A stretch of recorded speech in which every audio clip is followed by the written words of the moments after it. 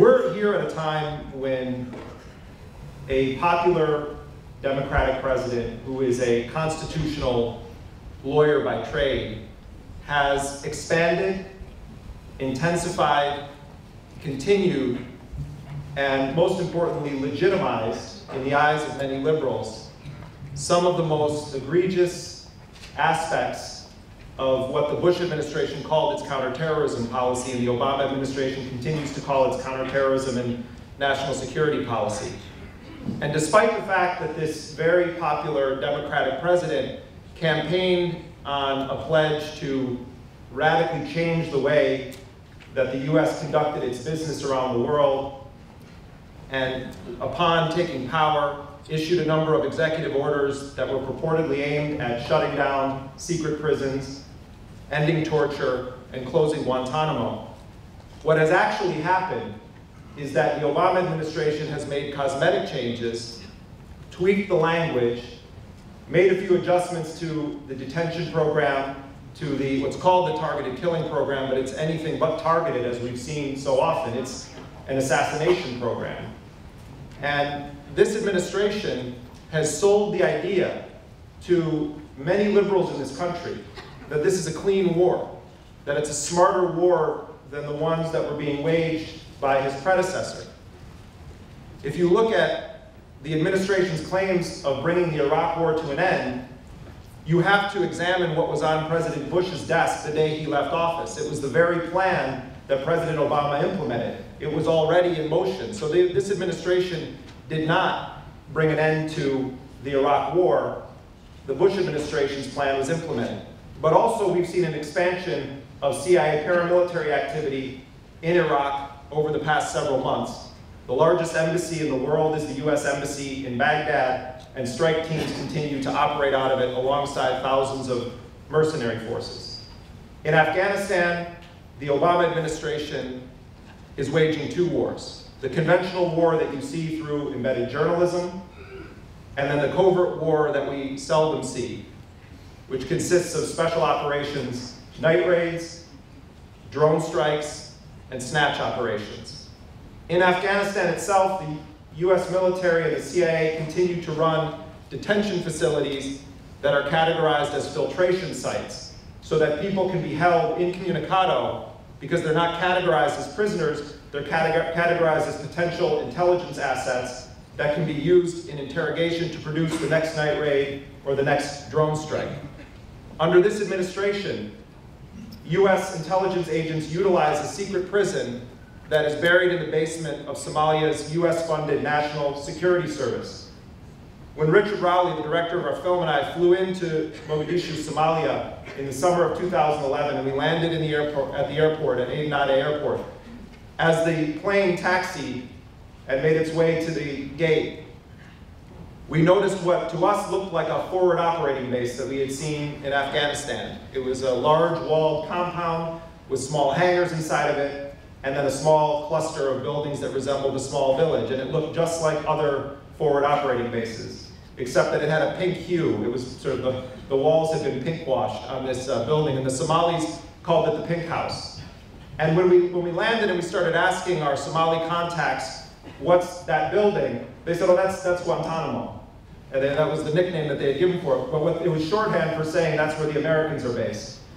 And what it, it turns out it was, and I found this out from interviewing Somalis who were liaisons with the Central Intelligence Agency and US military intelligence, is that the Obama administration had initiated a targeted killing and snatch operation based out of that airport, where they were building an indigenous capability of Somalis that could hunt down individuals that were suspected to be members of or members of Al-Shabaab, the Somali uh, militant group that pledged its allegiance to Al-Qaeda.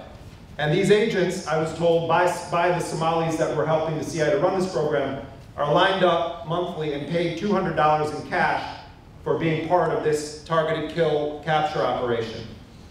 In the case of captured prisoners, they take the ones that they determine to have intelligence value and they hold them in the basement of this National Security Services building, which is a bed bug infested gulag. Prisoners are not given access to the outside world. They're not given access to lawyers. The Red Cross, when I was on Democracy Now! talking about this when I came back from Somalia, the Red Cross said it was, had never heard of the facility, and then I gave them the address on the air and told them where they could go and find it, and to my knowledge, they haven't followed up on it. But I discovered, I discovered that prison because I met a colleague in Somalia who works for an international news organization who's Somali, who had been put in that prison in retaliation for filming an operation that the US-backed Somali forces didn't want him taking pictures of. And he was put into that prison as a warning, and he said when he was there, he saw American and French agents interrogating prisoners. So I started to investigate the story. And I found out that there was a prisoner named Abdullahi Hassan, who was a Kenyan of Somali descent, who was in that prison, and he had been snatched from his home in Eastleigh, the Somali neighborhood in Nairobi, and shackled, hooded, and driven to Wilson Airport in Nairobi, and then shipped to Somalia, where he was put in this basement prison. And we were able to get testimony smuggled out of that prison of him describing the story and describing how he was interrogated by American agents around the clock, and how he hadn't seen a lawyer, can't communicate with his family, and has no access to the outside world. When I called the CIA for comment on the condition of this prisoner, they confirmed that he had been snatched on orders from the United States government and that he was being held in that prison and they said he was dangerous and it's good that he's taken off the streets. They said that he was one of the advisors to the then head of Al-Qaeda in East Africa, Saleh Ali Nabhan. And so this man was snatched on orders from the US government while Obama, President Obama is in office, sent to a secret prison in the basement of a US funded agency, and then interrogated at times by US intelligence and military intelligence personnel. And the CIA did not dispute any of those facts that I reported. They simply said, well, it's more that we sit in on debriefings with Somalis when they're interrogating. So that is the reality of one aspect of the rendition program, the secret prison program, and I think it also speaks to torture and definitions of torture. So President Obama and CIA Director Leon Panetta said in early 2009 that we're out of the secret prison business, that we brought an end to torture. But what we know and what we can prove is, is taking place is a sort of backdoor continuation of the policy by tweaking it. In fact, it's very similar to the rendition program under President Clinton in the 1990s. People try to heap everything and say that the, the, the beginning of all the problems happened when Bush and Cheney were in power. Bush and Cheney continued many of the Clinton-era doctrines on these core issues. President Clinton tried to assassinate Saddam Hussein. President Clinton authorized cruise missile strikes that blew up a pharmaceutical plant in Sudan and bombed Afghanistan as well. Clinton sustained the longest uh, initiated the longest sustained bombing campaign since Vietnam under the guise of the so-called no-fly zones in the north and south of Iraq. And he also initiated the rendition program. And so President Obama spoke of bringing an end to all of these things, but then found a way to continue them. And as the surge happened in Afghanistan and the drawdown happened in Iraq, we saw the Obama administration unveil what would become one of the linchpins of its counterterrorism policy, and that is the intensification of US drone wars. So in Pakistan, the number of drone strikes increased exponentially under President Obama. He also began issuing a series of secret orders at times through General David Petraeus, who was the CENTCOM commander responsible for all military op operations in the Middle East. And they started to issue what are called execute orders for Joint, Joint Special Operations Forces commandos, elite SEALs, Delta Force, Army Rangers, and others to begin penetrating countries that were outside of the stated battlefields, like Yemen and uh, Mali and Somalia and elsewhere in East Africa and the Arabian Peninsula, and began constructing drone bases in Saudi Arabia, in Djibouti, where the US has its major hub of operations in East Africa. Camp Lemonnier was a French military base that was taken over by the US. And so you had the expansion of these wars where you didn't have embedded journalists, you didn't have congressional hearings, and the administration tried to portray its drone wars as a smarter, cleaner war. But there is no such thing as a clean war. And what we see happening right now is that the signature strikes this policy that Cade mentioned, has become the tip of the spear of US policy in both Yemen and Pakistan, where you have what is almost, it's a grotesque form of pre-crime, where people, because of the region that they live, the fact that they're quote unquote military aged males, and they may or may not have had association with certain people, makes them worthy of preemptive designation as terrorists. And so when they're killed, and then we hear, hear a report about 11 militants being killed or suspected militants being killed. Oftentimes, those are people that have been determined through the pre-crime process, and it, that's even not the right term, because who knows if they were even going to commit a crime. When you're killing people whose identities you don't know, who you have no intelligence to speak of that they're actually involved with criminal activity or plotting terrorist acts, and you bomb them, what you've done in doing that is to create new enemies that have an actual legitimate grievance against the United States. Our actions in Pakistan and Yemen and Somalia are going to come back to blow against us. It will be blowback. We will pay a price for our actions around the world. There is no clean war. In Yemen, there is no clean war in Pakistan. When President Obama was asked about his resolve during the political campaign, he said, ask the 22 or 30, I forget which, which number, uh, leaders of Al Qaeda who've been killed under my administration about my sense of resolve. And it's true. They've killed a number of, of, of leaders. The number three man in Al Qaeda has been killed 20 something times. Said al Shihri, Said al Shihri, who's one of the heads of Al Qaeda in the Arabian Peninsula, by my count, has died eight times this year and just released a new audio tape last week. But, but there have been individuals that we're told are these notorious leaders of Al-Qaeda that have been taken out, and some of them very clearly have been involved with horrid activities. But for the most part, the end result of the drone policy has been to inflame hatred, to inspire new enemies. And a story that, that, that has affected me very deeply, that I think should be of great concern to uh, everyone in this country, uh, is the story of what happened in September and October of 2011, when President Obama authorized operations in Yemen that resulted in the deaths of three US citizens. Now I want to preface what I'm about to say with this. I don't believe that we should ever view the lives of American citizens as worth more than any other people in the world. On a moral level, there should be no difference in how we view the killing of someone in a village in Pakistan to how we view the killing of a kid born in Den Denver, Colorado.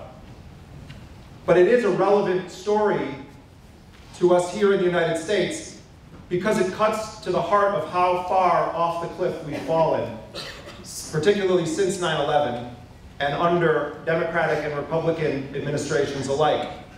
We now have a process in the chambers of power in Washington where a small group of men and women meet on Tuesdays, and they call it Terror Tuesdays, to decide who's going to live and die around the world. To go over lists of people that are on the target list, off the target list. What's our intelligence on this person? What patterns of life is this person engaged in? Can they be made a legitimate target? And these meetings then result in briefings to the president of people that the CIA or the Joint Special Operations Command want taken out. There are at least three separate kill lists that are being run in the US government. The CIA has a kill list, JSOC has a kill list, and then the National Security Council has a working group that also keeps its own list of high value targets. For all I know, there could be more, but those are the three that we know exist. And they've also developed something called the disposition matrix, which is an attempt to create a sort of algorithm for determining if someone could be captured or we need to kill them. If someone can be taken by cooperation with the local government or we need to send in a team of SEALs if someone should be taken out by a drone strike, or if we should try to seek to capture them through other means. This administration is normalizing the process of assassination as a central component of US policy for many generations to come. And I don't believe for a moment that if John McCain had won the election, or Mitt Romney had won the election, that you would see polls indicating that 70% of self-identified liberals support drone strikes, and that the support for it would drop only negligibly in the case of a US citizen. I think that this has been a political campaign to sell this idea and this program to liberals. and the results are going to be far-reaching for generations to come. So on this particular operation I started to tell you about, on September 30th, 2011, President Obama was presented with a choice by Admiral William McRaven, who was the head of the U.S. Special Operations Forces, and by the CIA. And it was a decision about whether or not he should kill an American citizen with a drone strike that had not, and the citizen had not been charged with a crime and had not, had not been indicted and had not had evidence publicly presented against him to back up the leaks that were being uh, used to litigate the case against a man named Anwar al-Awlaki. There was no indictment, there was no charge, there was no evidence publicly presented against him. And on this day, September 30th, 2011, President Obama served as the prosecutor, the judge, the jury, and ultimately the executioner of a U.S. citizen who had not been charged with a crime, and authorized a drone strike that killed Anwar al-Awlaki and another U.S. citizen named Samir Khan, who was a Pakistani American from North Carolina.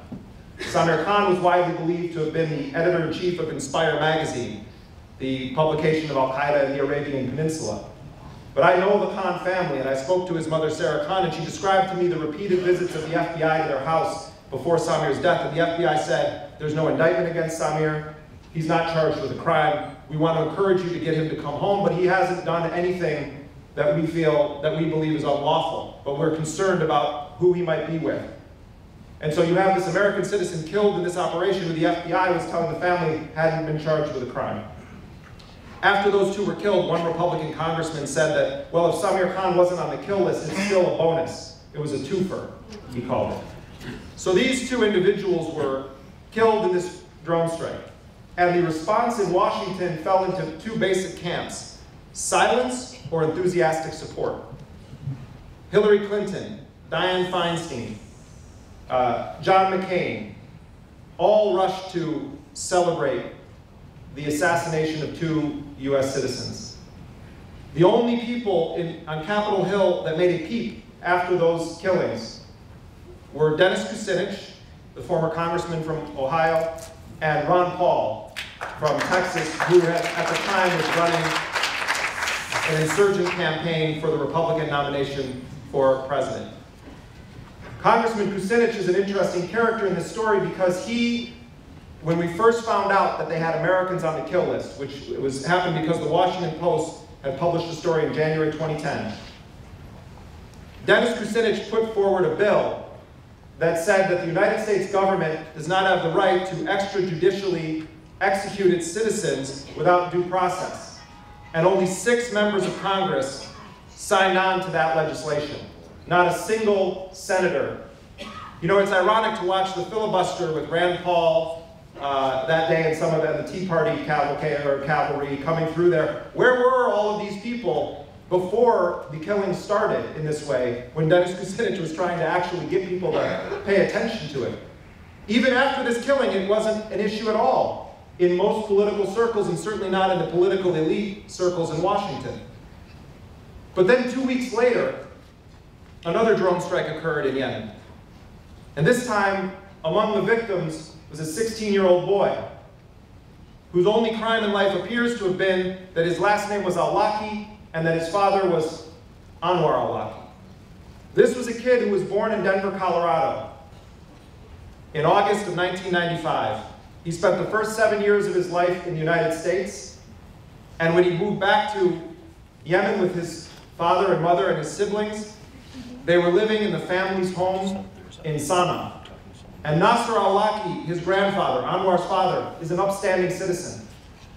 He is a man who came to the United States as a Fulbright Scholar in 1966 and adored and still adores the United States. He is a man who wanted his children to have a college education from the U.S. When he had come here to get his education, he wanted to stay, but he decided to de devote his life to dealing with Yemen's water crisis, which is severe. And he built the Department of Agricultural Engineering with money from the U.S. Agency for International Development in Sana'a and Ray was trying to raise his children to be academics or to be scientists or to be engineers. And when Anwar took a different path and became an imam, and that's a whole story that I tell in the book of his how he became who he was. It didn't happen in a vacuum. It had a lot to do with what the US did after 9-11 that, that pushed him to become what he eventually was. But this boy, this teenage boy, Abdul Rahman Awlaki, hadn't seen his father since May of 2009. Because when his dad went underground, Anwar left his children with his, with his father to raise. And this kid, I looked through all of his Facebook posts, the family videos, talked to his friends, was into hip hop music. He had this huge unruly afro that his grandfather and his mother were constantly picking on him to, to cut. They wanted him to cut his hair. There's photos of him posing with his friends like rappers. We have one video where he's sort of in the streets reenacting a video game scene with his friends. And the videos that we've seen from their family show a gentle older brother to his younger siblings, and everyone we've talked to said that he was a quiet, gentle, smart boy. And this kid is living with his grandparents while his father has become public enemy number one, and the Americans are hunting him with the CIA and JSOC. And his grandfather's raising him with dreams of sending him to the US to go to university. And a few days before his father was killed, this kid runs away from home, from his grandparents' house. He stole the equivalent of $40 from his mother's purse. He packed a small bag, he hopped out the kitchen window, he boarded a bus in Bab Yemen in the old city in Sana'a, and he took the bus to where he thought his father was, which was Shabwa province, the scene of repeated drone strikes by the US trying to kill Anwar al-Awlaki. His grandmother told me that she was afraid when he left that it would be bait for the CIA, that they were maybe going to track his telephone calls if he managed to get in touch with his father or read his text messages. They also wonder if maybe uh, the CIA was following him the, the whole time. When Rick, when Rick and I, the director of our film, when we went into the Awlaki home in Sana'a the first time, all of the, we couldn't find an open frequency for, to record the audio of the interview because there were so many waves going through the house. They were being monitored from every angle. We couldn't find an open channel. So that family we know was being followed. But this, this and the, the, I tell a story about how Anwar al-Awlaki's youngest brother, Amar, who works for an oil company, they approached him in Vienna, Austria, the CIA, and tried to pay him $5 million to give up the location of his brother. The CIA also found a bride for Anwar al-Awlaki using a Danish spy named Morten Storm. They arranged a marriage for Anwar al-Awlaki, and so they supported his, uh, his, his wife underground. But this kid, Abdul Rahman, he's there, he's looking for his father, he's waiting in Shabwa province, and he is there when his father is killed in a drone strike. Not in Shabwa, but in the north of Yemen. And his grandmother called him and said, Abdul Rahman, it's finished, you have to come home, your father is dead. And he said, yeah, I'm, I'm going to come home, but the roads are blocked because the Arab Spring was happening and there was a revolt against Ali Abdullah Saleh, the US-backed dictator in Yemen. So he couldn't make it back to Sana'a, so he had to wait in his family's tribal province. And he went into a depression and his relatives were saying, Abdul Rahman, you need to get out and do something. Go out with your cousins, go out with the other kids from the, the neighborhood. And one night they were all out, gathered in an outdoor restaurant at about nine o'clock. And a drone appeared above them and launched a missile and blew up 16-year-old Abdul Rahman al-Awlaki, his 17-year-old cousin Ahmed, and all of the other kids that were with them. And when the reports came that this kid had been killed and was among the dead, a military, US military official leaked a story that he was 21 years old. And then the Awlakis had to produce the birth certificate showing that he was born in August of 1995 in Denver, Colorado. And then they said that he was an, uh, a suspected militant himself and that he was at an Al Qaeda meeting. And then they said he was actually collateral damage. He was killed because he was meeting with an Egyptian member of Al Qaeda in the Arabian Peninsula named Ibrahim al Bana. And then AQAP releases a statement saying that's a lie, Ibrahim al Bana wasn't there and he's still alive. And AQAP actually has a much better track record than the US government at deciding when the number two guy in Al Qaeda gets killed. I mean, they're, they're, they're generally reliable when they say someone is alive or dead. And Ibrahim al-Bana, as far as we know, is, is still very much alive. And so then the question became, how was it that this kid was killed? This 16-year-old US citizen who was not his father, who played video games, hung out in the Change Square with the nonviolent revolutionaries, had an afro, listened to hip hop, and, and spent most of his time being an older brother and a goof off. How is it that he was killed two weeks after his father? The coincidence just seemed impossible to take, and I've spent the past almost two years trying to get an answer to this question. Why was Abdul Rahman Awlaki killed? Because for me, the answer to that question says a lot about what kind of nation we are and what kind of nation we want to be. And, and, and yet there are no answers. The Obama administration has never been asked about it. Uh, uh, President Obama has never been asked about it at all of those press conferences. He has never had to face the direct question, even though he's in charge of the program. When Robert Gibbs was asked by uh, a, a, an enthusiastic young reporter named Sierra Adamson about why Abdul Rahman was killed, Robert Gibbs' answer was he should have had a more responsible father. There is no, I can think of almost nothing more shameful than blaming the killing of a child on who their parents are or were. The, the paying for the sins of your parent, it is a reprehensible criminal idea that you would blame the killing of a child on something that their parents had done when that kid wasn't even with his father. Then they tried to say, well, he was sitting next to him. When Harry Reid, the, the leader of the Senate, the, the Senate Majority Leader, was asked on CNN by Candy Crowley about the killing of Anwar al-Awlaki, Samir Khan, and Abdurrahman al-Awlaki, his answer was that if there were any three Americans that deserved to die, those three did. And I went after Harry Reid and tried to get him to answer, when you said those three did, you realize that one of them was a 16-year-old boy who had never been charged with a crime and wasn't with the other two at the time, and his office would never provide a response as to why he said that. And as the majority leader of the Senate, he has access to the intelligence on these strikes and refused to talk about it. Then I, I, I recently met a former senior official uh, who uh, was working on the kill program for the first, the entire duration of the first term of Obama and was part of the process targeting Anwar al-Awlaki at, at the highest level of the US government. And when I asked him what happened there, he said that the, the CIA and JSOC had told the president that Ibrahim al-Bana was alone. And he claimed we didn't know, he said we didn't know that the kid was there. And I continued to press him on that, and he said that John Brennan, who at the time was the senior advisor on counterterrorism and homeland security, believed that either JSOC or the CIA had intentionally targeted Abdul Rahman al-Awlaki.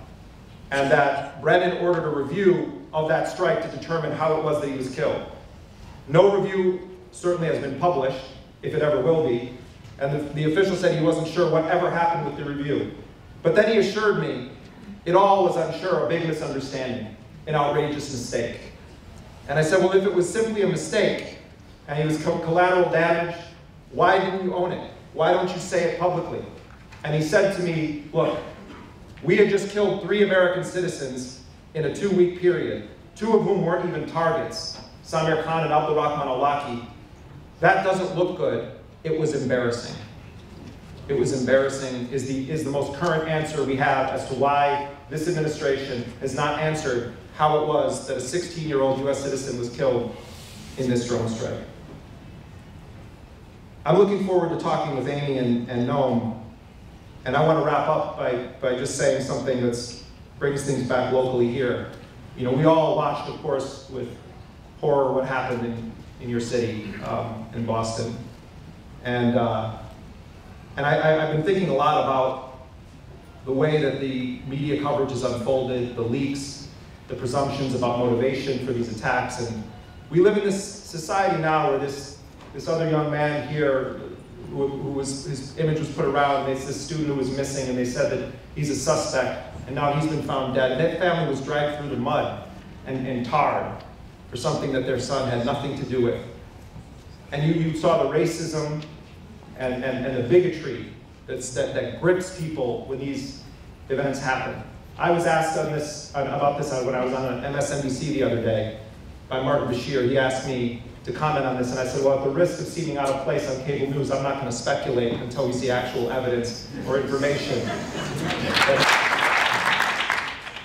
and then a few days after this Tsarnaev uh, kid was taken into custody, something extraordinary happened, and that was a young man named Farea al-Muslimi from Yemen, uh, testified in front of the US Senate. And I know Farea, I met him in, I met him in Yemen, and he's an extraordinary uh, young man, uh, incredibly articulate, sharp, uh, manages to say scathing things about Al-Qaeda in the Arabian Peninsula, and in the same breath turn it to a US-backed dictatorship. He's consistent in his morals, um, and, and, and, and, he's such a young man, but he has moral clarity that I wish so many of us had. And when he was asked about Boston, he said something that I think is profound to the, to the reporter who has a kid, a young man in front of him, who, whose own village was drone bombed in Yemen six days before he testified in front of the US Senate.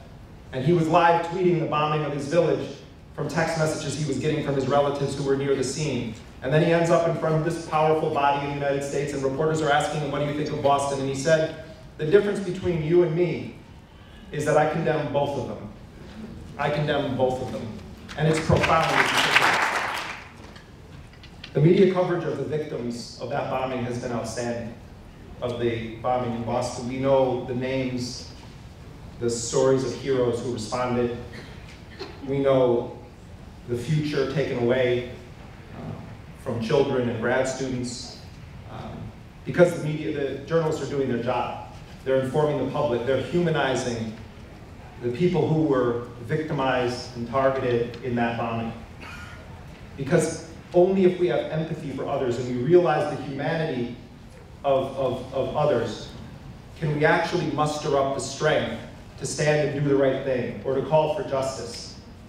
If we had that kind of coverage of the victims in the drone bombing of Thuraya Muslimi's village, or we saw the humanity of Abdurrahman Awlaki and his teenage cousins who were bombed on, uh, in an operation authorized by a popular democratic constitutional law professor president. If we saw the humanity in the real widows of Baghdad, instead of being obsessed with the real housewives of Los Angeles or Beverly Hills or whatever, if we actually see them as human beings, then the game changes, the equation changes, because you don't view it through a nationalist lens. You don't view it through the lens of American exceptionalism. You view it as all of our responsibility as human beings to, to stand up even when someone is in power, especially when someone is in power who you may have voted for, or who you like, or who you think is the lesser of two evils. That's when your principles are tested. You know, a society's values are not defined. Our values are not defined by how we treat the rich and the powerful and the popular. It's defined by how we treat the least of our people, how we treat the poor. And it's also how we treat the most reprehensible. And so I can, I can talk for an hour about all the things that I think Anwar al-Awlaki did that were reprehensible. And I can talk about orders to target specific cartoonists. And we could talk about the smoke around his interactions with various people that the US has determined to be terrorists. All, everything they've leaked in the media, maybe it's true, maybe it's not. But if we are not going to give that man due process, then we should change our Constitution. We live in a different society then. We shouldn't project this idea that we have anything resembling the rule of law unless it can apply in the most inconvenient of cases. That's the standard that we should be judged by. And that's our challenge, and it's the challenge of young people, and there's a lot of young people in the room tonight, to keep the struggle going, to build a world where justice prevails and where humanity is recognized with no difference between nationality or citizenship. Thank you.